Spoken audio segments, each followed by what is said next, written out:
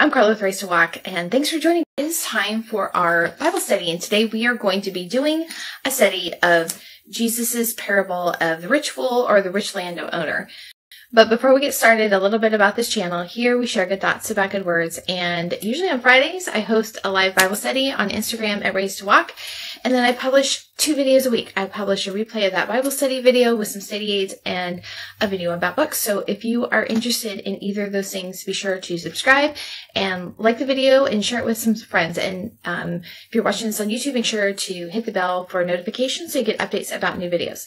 So normally I do this Bible study on Friday but since Friday was Christmas, I pushed it back a couple of days and we just took that day off. And um, so anyway, so we're going to do it today. Now, I'll tell you kind of a funny story. I don't know if it actually is funny or not, but when I came on, I was thinking, oh my goodness, up, Instagram updated the app and going live was not the same as it was before. So hopefully everything else works out okay.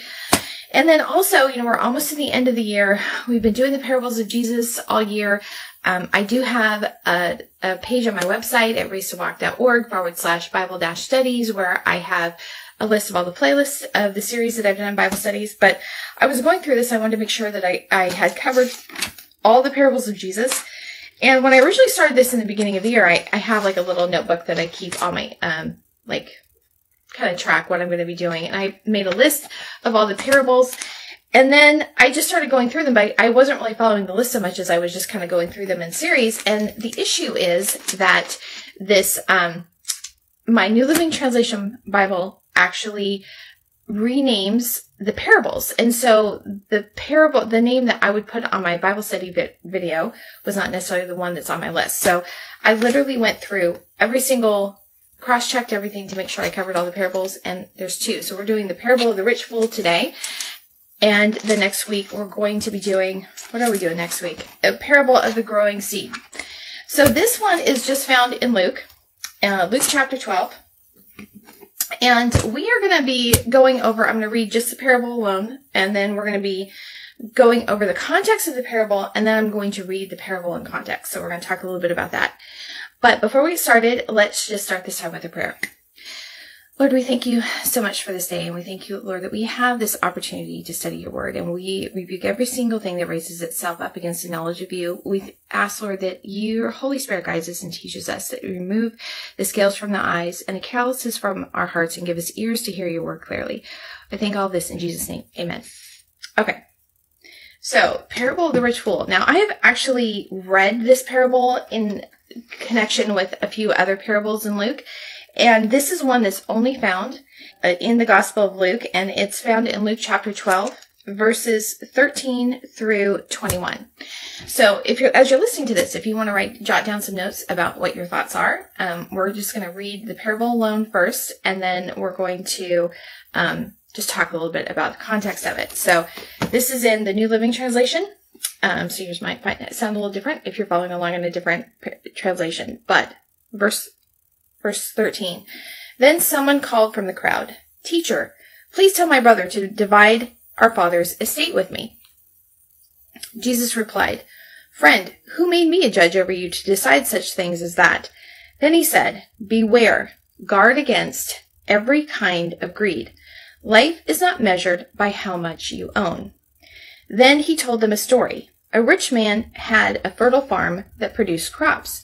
He said to himself, what should I do? I don't have room for all my crops.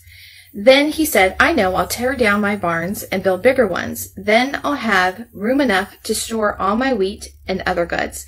And I'll sit back and say to myself, my friend, you have enough stored away for years to come. Now take it easy. Eat, drink, and be merry.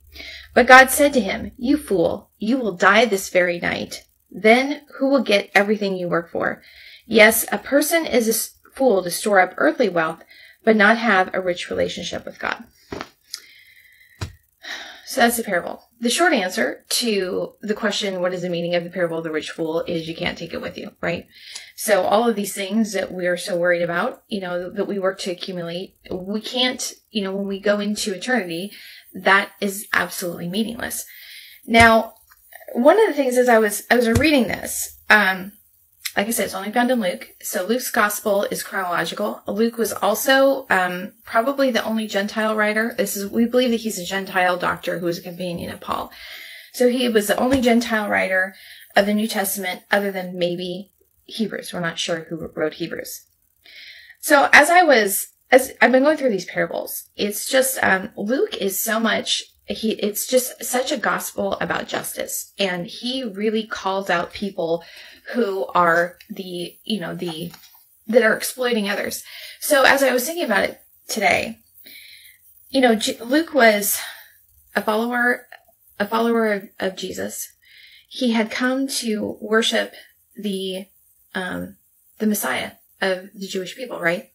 But he was he was not a jew.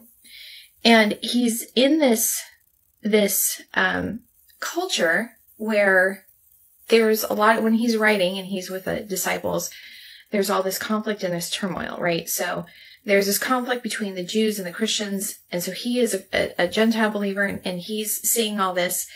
And you know he has believed in the good news and then he's in this this this society where the people who have said that they're followers of Yahweh who at this point it's probably before the the temple was destroyed who are the ones that are you know making sacrifices that, that are um, administering the feasts and the the offerings that not only are have most of them not all but most of them have um, rejected Jesus as the Messiah but there's also so much corruption. And in the Bible study on the uh, Lazarus and the rich man, we talked about how um, a lot of people believe that the rich man actually was supposed to symbolize Caiaphas, who um, was the priest at the time, who the, the Sadducees and that whole family there, they were basically like the mafia. They were exploiting everyone, you know, everybody that came. And so they're really complete crooks. And so this is going on. There's, you know, persecution of Christians. Luke is giving his account and these people are acting, acting righteous. And he's telling all these stories. So listen to all these stories. I just kind of like went down my list of, this, of the parables that we've done that only appear in Luke. So Lazarus and the rich man is only in Luke. Um, the unjust steward uh, is just in Luke. The parable of the talents, like you know, being responsible um, and accountable for the blessings that we're, we've been given. The the parable about the leaven. So the now I think it's also mentioned other places, but Luke actually refers to it like twice in the par- uh, the parable of the leaven. He speaks about the leaven of the the um the uh, Pharisees and the Sadducees, right? So the parable, and I have a couple of short video clips on this. The leaven of the Pharisees is their hypocrisy. He explicitly states that Luke explicitly calls out the leaven of the Pharisees as hypocrisy. And then the legis- the uh, leaven of the Sadducees um, and of Herod is putting your trust in in earthly government. So then he also um, his is the only only gospel that has the parable of the good samaritan which we have a, a, video a bible study on that. And remember the samaritans were ones that the jews thought were like total scum. And um, luke puts him as the the hero of the story and then is explicitly showing the the the uh, i think it was the was it a levite and a priest that passed by and so he's calling the religious leaders out specifically. And then par- the parable of the prodigal son and the parable of the Pharisee and the tax collector. So in this parable, he there's the the Pharisee, you know, this teacher of religious law who is giving this really prideful um, prayer, and then there's a tax collector who is humbling himself before God.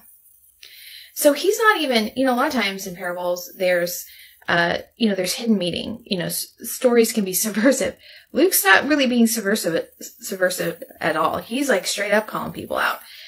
So keep that in mind, like all these other parables, because this this parable actually uh, co- is given in the Gospel of Thomas, and I want to read some of the comments on that because I, I just think it's kind of funny. But and there's a point to it.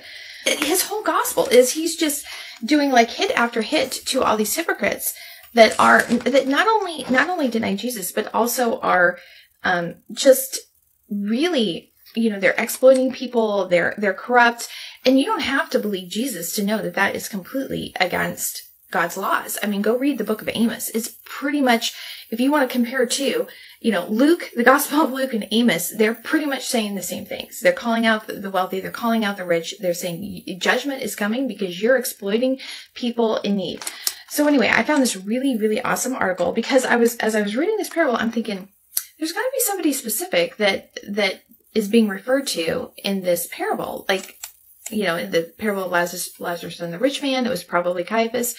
Who is he talking about in this parable that is just taking everything and storing it up? So, um, I found this really awesome article called the, uh, I'll link to it when I pub- republish this in the description. It's called The Holy Land in the Time of Jesus.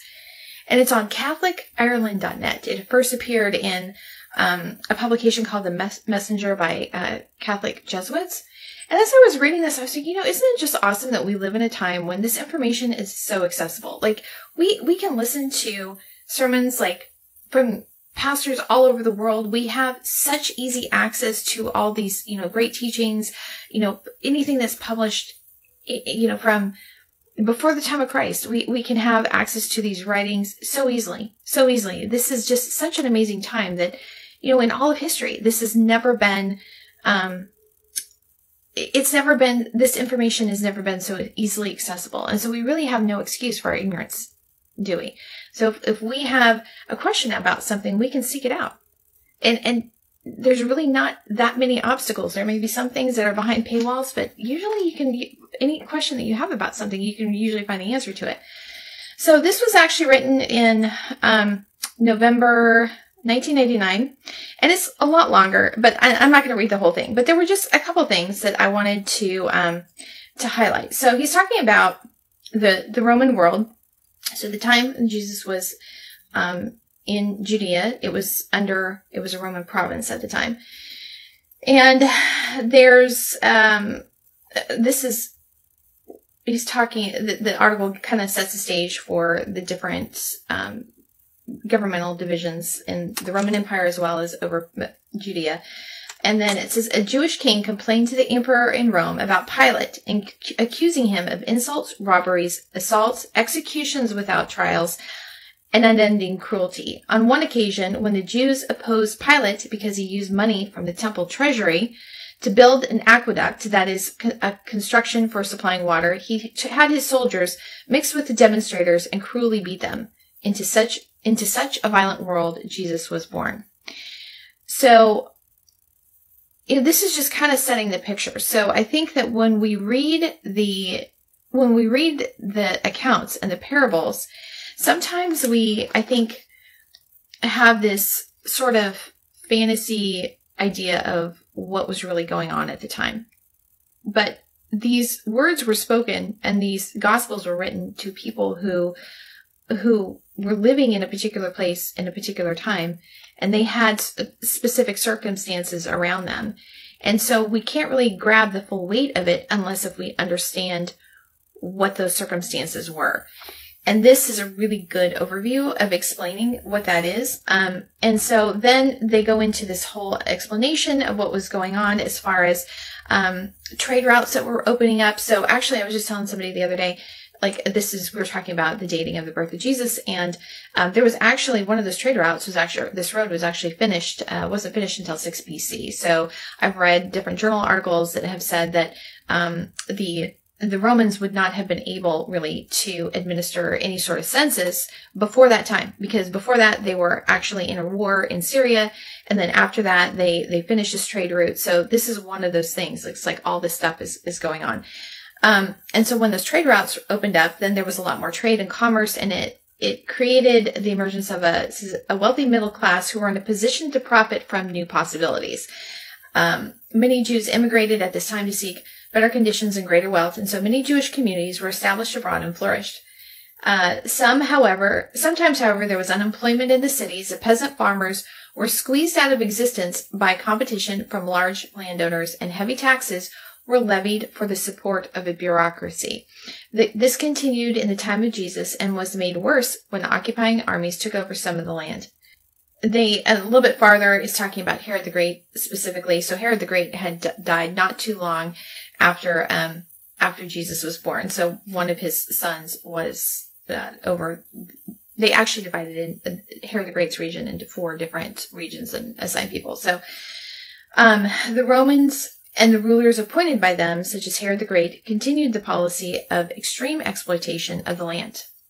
Great estates forced back the peasant farmers, and the number of landless tenants increased, particularly after the time of Herod the Great. Great estates in Galilee and other places were owned by the Jewish aristocracy of Jerusalem, or in particular by the Sadducees. And so this is what the, the uh, Lazarus and the rich man is kind of speaking into that same situation. So when we read this, this is this kind of indicate this this taking of maybe what other people had, right? So in verse 17, he said to himself, What should I do? I don't have room for all my crops. Then he said, I know, I'll tear down my barns and build bigger ones. Then I'll have enough room to store all my wheat and other goods. And I'll sit back and say to myself, My friend, you have enough stored away for years to come. Now take it easy. Eat, drink, and be merry. So this is kind of the sense of like taking, you know, pushing out other people to accumulate for yourself, right?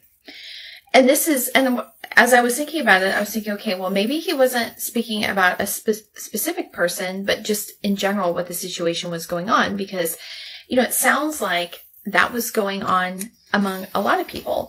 And so here's the thing that, um, especially for, you know, I know that only about half the people that watch this video, these videos are in the U.S., but you know, in the U.S. specifically, we have this. We've kind of made an idol of laissez-faire capitalism heavily, and sometimes I see people um, talking like they think that you know capitalism is aligned like goes hand in hand with Christianity, and that if you say anything against capitalism, that you're speaking against Christianity.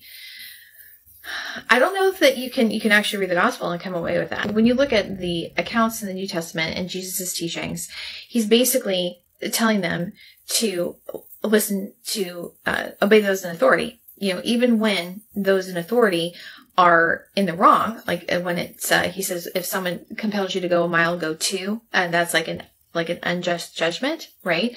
So he's just saying, he's saying, uh, give unto Caesar the things that are Caesar's, give unto God the things that are God. He was telling them to pay their taxes. And if you read this, the all this article, it actually says those tax burdens were very, very heavy and very oppressive. And Jesus is saying to still pay them. So he's not talking about revolting against this government, even though the government is wrong, right?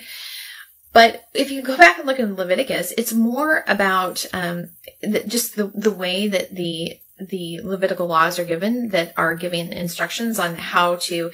It's not just about offerings, but it's also about you know setting up uh, the justice system and the courts and how to decide just certain things, and also how to operate you know in business. There's there's a lot of there's actually a lot of laws in Leviticus for that.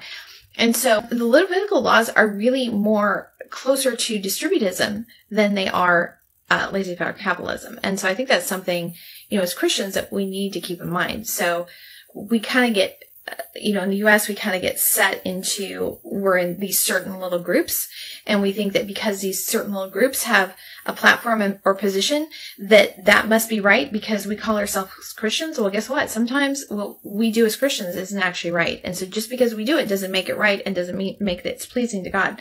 So, I want to say about this is that this was a time when the economic system was sh- shifting right? So there were new classes of people coming into wealth and power. And so there's all this turmoil. It's, it says a little bit later that there was all this, you know, poverty and oppression and exploitation. There was this sort of civil unrest, you know, that was bubbling underneath the surface. And this is, this is the time that Jesus was born into.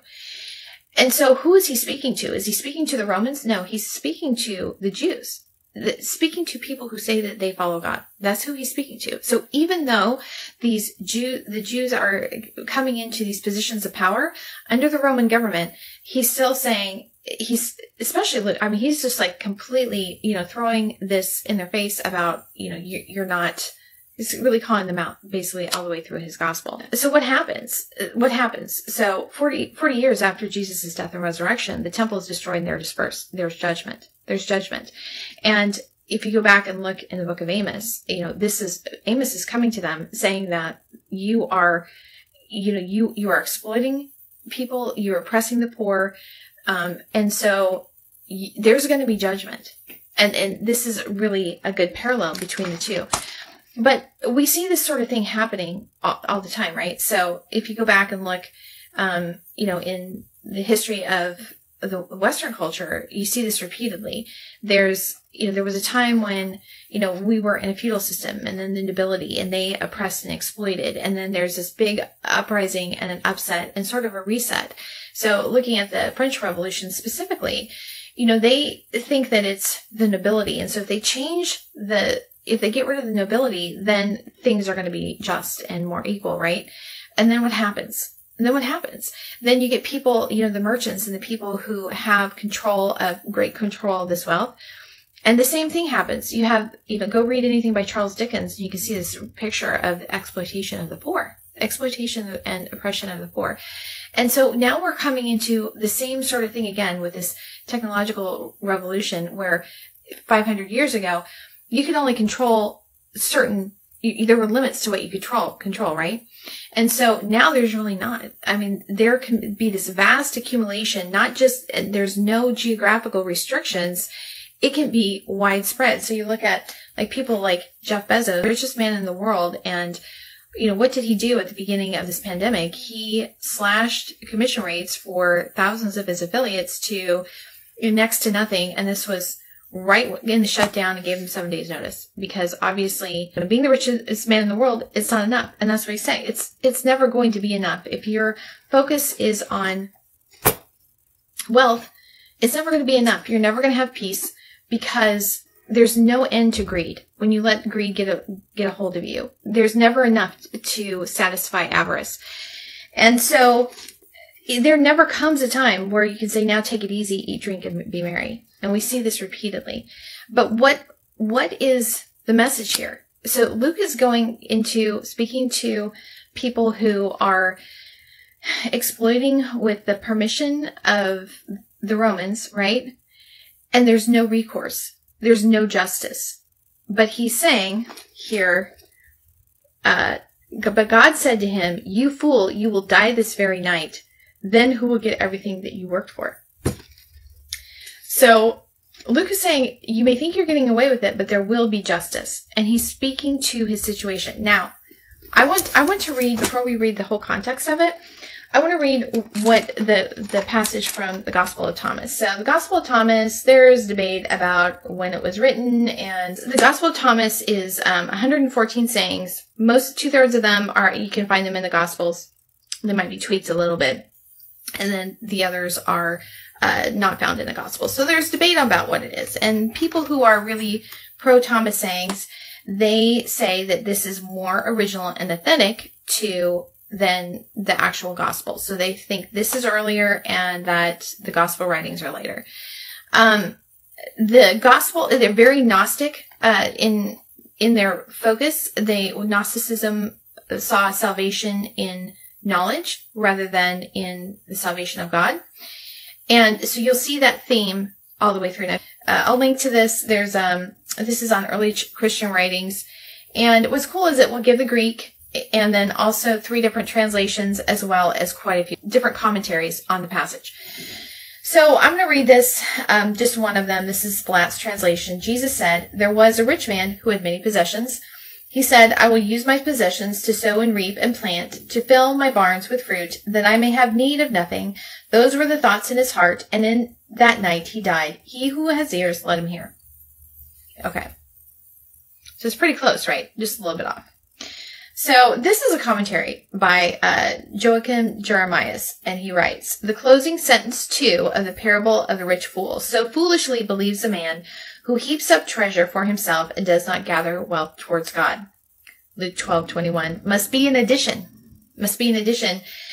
Um, it is missing from the Gospel of Thomas and gives a moralizing meaning to the parable, which blunts the sharp edge of the warning. So because it's moralizing, he doesn't think it's original. I'm going to read another comment on this. Okay, Helmut Koester writes, there are two secondary features in the narrative of Luke. The conclusion and the moralizing discourse. Both are missing in Thomas's version, which presents a story in the more original form of a reversal parable. On the other hand, Thomas has also transferred the parable into a different milieu. The rich man is no longer a wealthy farmer, but a decurion from the city who wants to invest his money successfully. The maxim at the end of the Gospel of Thomas 63 is of course secondary, but it does not reveal any knowledge of Luke's conclusion. So what they're saying is basically we don't think that we think that Thomas is more original because it doesn't have the moralizing parable. And I just have to say that have you read the rest of the Gospel of Luke because Luke moralizes a lot. So um also I I think that it it really Luke's gospel is more consistent with the Old Testament too because if you have read any of the prophets they are pretty plain about telling people that you know, God's going to hold them to account. So I don't think that that's a valid conclusion on their part. It's a conclusion that they just want to make. Um, the, the other thing about this is that to me, again, this, this fits into, um, more with the Gnostic understanding of just about knowledge. Luke's gospel is like, it's, you can't just, and it really, I think, ties into the, his whole theme of putting it to the religious hypocrites, it's like just saying and knowing means nothing. You have to do. And so with the Gnostic version of it, it can just stay in your head. It can just think of, you can just think about it. Luke is being very clear about knowing that there will be judgment and you will be called to account for your actions for what you do. So anyway, um, I just wanted to bring that in because like, like sometimes I don't know. Sometimes people like will come across um, commentary on the Gospel of Thomas and think it's like some big gotcha. And it's not. I mean, it's just what to you. Uh, if you read the the Luke's account versus the Gospel of Thomas, which to you sounds like a better fit into the situation that was going on in Judea at the time of Jesus? Which is a better fit? I think Luke's is a better fit about speaking to what was actually going on. This Thomas's is completely divorced from any actual setting. So I'm going to read the what's around the gospel, uh, this particular parable. This is um, titled "Jesus Speaks Against Hypocrisy." Okay. Meanwhile, the crowds grew. This is verse one until thousands were milling about and stepping on each other. Jesus turned first to his disciples and warned them, "Beware of the yeast of the Pharisees, their hypocrisy." So maybe this is maybe he's speaking to some of the religious leaders at the time about what they were doing, you know, uh, and taking advantage of those around them. The time is coming when everything that is covered up will be revealed, and all that is secret will be know- made known to all. So all these secret dealings, all the underhanded stuff, is going to be revealed, right? No one will get away with anything. Whatever you have said in the dark will be heard in the light, and what you have whispered behind closed doors will be shouted from the housetops for all to hear. Dear friends, don't be afraid of those who want to kill your body. They cannot do it any more to you after that. But I'll tell you whom to fear. Fear God, who has the power to kill you and then throw you into hell. Yes, he is the one to fear. What is the price of five sparrows? Two copper coins. Yet God does not forget a single one of them, and the very hairs on your head are all numbered. So don't be afraid. You are more valuable to God than a whole flock of sparrows. And so, you know, just reading that, just think about the situation today where there's all this pressure to, um, to cave, to do what you, it may not be like a big wrong, maybe it's just a little wrong, a little corruption, but there's pressure to do that. And so what is Jesus saying? He said, don't fear man, fear God. You know, you have to remember that whatever you do, you're accountable to him. You're accountable to him for your actions. And he's giving a very explicit warning. Fear God, who has the power to to kill you and then throw you into hell. All men can do is kill you. That's the worst they can do. You also be thrown into hell. So, do you think that this moralizing, as these Gospel of Thomas scholars think that Luke is doing, do you think that's out of place with this? No, no, I don't think so. It's also not out of place with the Old, Old Testament either. Okay. I tell you the truth. Everyone who acknowledges me publicly here on earth, the Son of Man will also acknowledge in the presence of God's angels. But anyone who denies me here on earth will be denied before God's angels. Anyone who speaks against the Son of Man can be forgiven, but anyone who blasphemes the Holy Spirit will not be forgiven. And this actually, I think this is a good, um, I'm going to tie into this. This is a Second Timothy 2, this is considered one of the earliest creeds of the church in Second Timothy. Um, this is Second Timothy 12 through 13. This ties in exactly with what Jesus is saying. This is a trustworthy saying. If we die with him, we will also live with him. If we endure hardship, we will reign with him. If we deny him, he will deny us. If we are unfaithful, he remains faithful, for he cannot deny who he is. Then in this part, he says that anyone who blasphemes the Holy Spirit will never be, will not be forgiven. Verse 11. And when you are brought to trial in the synagogues and before rulers and authorities, don't worry about how to defend yourself or what to say, for the Holy Spirit will teach you at that time what needs to be said. So he's talking about, you know, worry about, you know, worry, fear of man, um, about persecution, about this pressure. He's like, don't worry about that. The Holy Spirit will tell you what to say. And then he goes into the parable of the rich fool. Then someone called him from the crowd, Teacher, please tell my brother to divide our father's estate with me. Jesus replied, Friend, who made me judge over you to decide such things as that? Then he said, Beware, guard against every kind of greed. Life is not measured by how much you own. Then he told them a story. A rich man had a fertile farm that produced fine crops. He said to himself, What should I do? I don't have room for all my crops. Then he said, I know, I'll tear down my barns and build bigger ones. Then I'll have room enough to store all my wheat and other goods. And I'll sit back and say to myself, my friend, you have enough stored away for years to come. Now take it easy, eat, drink, and be merry. But God said to him, You fool, you will die this very night. Then who will get everything you work for? Yes, a person is a fool to store up earthly wealth, but not have a relationship with God. So the other thing, I'm going to read a little bit further because this is goes into teaching about worry. But um, he talks about um, if you go and read, look at the Bible study we did on the parable about the uh, building on a solid foundation. So Jesus is referred to the, the cornerstone and you know solid rock, right? So that's the illustration. But in that particular parable, what he's referring to is the works that we do. So what kind of things are we doing? are we building that's building our a foundation of for eternity. So that is i'm not going to go into more detail on that one but that's also ties into that here. Okay then in verse 22 then turning to his disciples jesus said that is why i tell you not to worry about everyday life. Whether you have enough food to eat or enough clothes to wear for life is more than food and your body more than clothing look at the ravens they don't plant or harvest or store food in barns, for God feeds them, and you are far more valuable to him than any birds. Can all your worries add a single moment to your life? And if worry can't accomplish a little thing like that, what's the use of worrying about over bigger things? Look at the lilies and how they grow. They don't work or make their clothing, yet Solomon in all his glory was not dressed as beautifully as they are. And if God cares so wonderfully for flowers that are here today and thrown into the fire tomorrow, he will certainly care for you. Why do you have so little faith? And don't be concerned about what to eat and what to drink. Don't worry about such things. These things dominate the thoughts of unbelievers all over the world. But your Father already knows your needs. Seek the kingdom of God above all else, and He will give you everything you need. So don't be afraid, little flock, for it gives your Father great happiness to give you the kingdom. Sell your possessions and give to those in need. This will store up treasure for you in heaven, and the purses of heaven never get old or develop holes. Your treasure will be safe.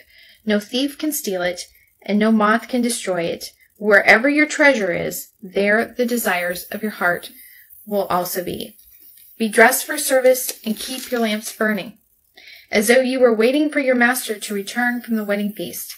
Then you will be ready to open the door and let him in the moment he arrives and knocks. The servants who are ready and waiting for his return will be rewarded. I tell you the truth, he himself will see them.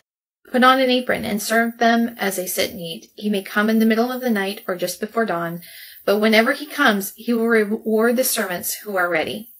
Understand this, a home, if a homeowner knew exactly when a burglar was coming, he would not permit his home to be broken into.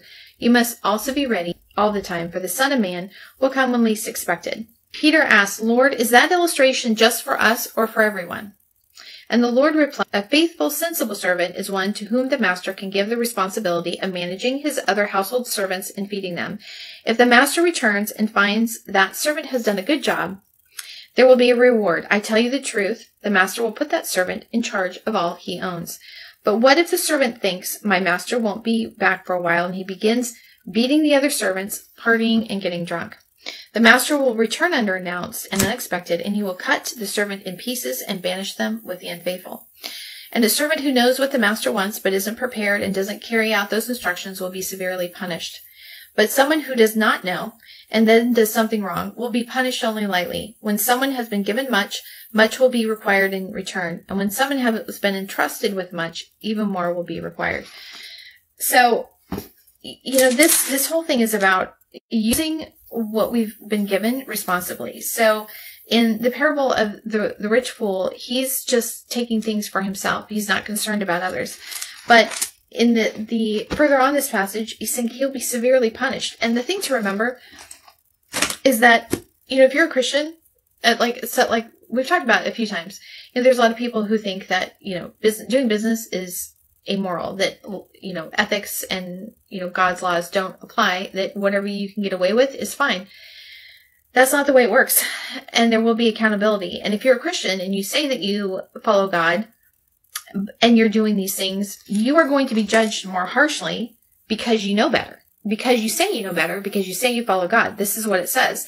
If a servant who knows what the master wants, but isn't prepared and doesn't carry out those instructions, will be severely punished, but someone who does not know and then does something wrong will be punished only lightly.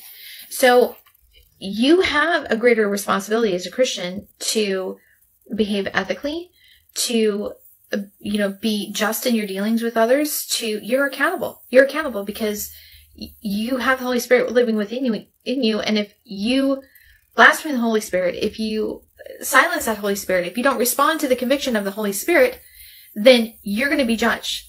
You're going to be judged. And so I, uh, it's kind of interesting. I, I was going to pull this out and I didn't. And so there's a, I think it's a shepherd of Hermas. There's a, there's this whole long thing about the rich and the wealthy and that they, he basically in his position, so keep in mind this is like first century writing, they basically feel like if you are wealthy, then you have less access to God because your wealth is kind of like in a, um, kind of a barricade to it. But as you give to the poor, then the poor will, you know, pray to God, thanking you for those blessings and that God will respond, will bless you because you gave to the poor. And so that's kind of indicated here a little bit when he's saying that, you know, sell all you have and give your possessions to the poor and then you'll have treasures in heaven. So, um, I think that we need, especially in the U.S., in the, um, you know, we, we've been so comfortable and we just have gotten, I think, our, our um we've gotten our perspective off. We need a course correction, I think, and I think we need a heart check about you know what is really um, what really are we supposed to be doing? We're supposed to be caring for those needs, and we shouldn't be using our position to um, take advantage of other people. And again, if you're a Christian and you're doing that, you are going to be held. There's going to be more consequences for you than for somebody who isn't. So anyway, this parable of the rich fool. I've been a lot of rich fools, right? And we have a lot of them today. But in the end, there's going to be justice. And uh, what's kind of interesting to me is that, that there's so many people who make a big deal and a big show about being um, being a Christian, and they're some of the biggest uh, biggest crooks out there, biggest crooks. And so, really, I, I, you kind of almost have to wonder like are they even christians? Are they just really doing this for like connections and networking? Because they they really act like they don't think that there's going to be any judgment for their actions. I mean i think you know when you look at it atheists may not believe in god but i think that they may sometimes they have more of a sense of accountability than christians who think that they're right in their actions just because they say that they follow christ but they don't actually. So anyway just keep that in mind. You know we have you know, we need to, um, it says the fear of the Lord is the beginning of wisdom. So we need to make sure that our actions are pleasing to Him. So I don't know. We have a lot of crazy stuff going on right now, and I think that if even a fraction of the people who say they're a Christian started actually act, acting like it, things would look a whole lot different. But anyway, let's just end with time for the prayer, and we will call it a day. Lord, thank you so much for this day and for this time, Lord, and give us clean hearts. We ask that you pour out your spirit of grace and supplication on us, on our churches, on our communities, and on our nation, Lord. Give us clean hearts. Um, Lord, we need you to cleanse us and to, to rip away this, this spirit of apathy and um, this callous behavior towards people around us and give us hearts that are really seeking after you and that are ears that can hear and are sensitive to your leading, Lord. Um, we thank you, Lord, for every single blessing that you've given us. And we thank you for your grace and forbearance on just, uh, on every single one of us when we've, we've been so, um, lazy about the gifts that you've given us. I pray for the favor and blessing of God over each person that listens in Jesus' name. Amen. Anyway, I hope you had a great Christmas, great weekend, and uh, I'll talk to you later.